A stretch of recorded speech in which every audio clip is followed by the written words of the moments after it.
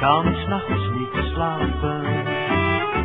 Een groot verlangen drijft hem naar de haven.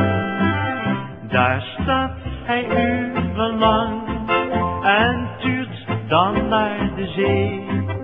Zijn mooie dagen, lang vervlogen, voelen hem mee. Een laatste maal nog In storm en regen, daar op die wijde zee. Dan kan hij rustig de grote reis aanvaarden. En zet voor het laatste koers naar het oord van rust en vrede.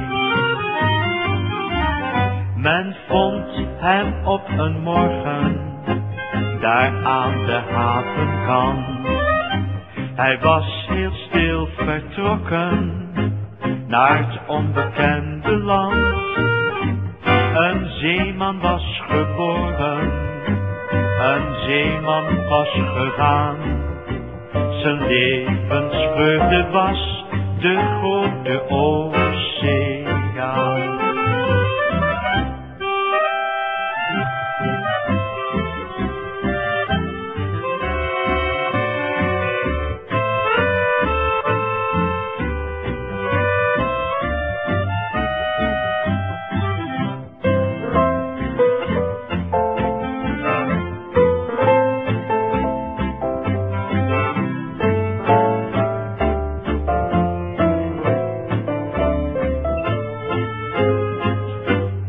Laatste maal nog wil hij het beleven.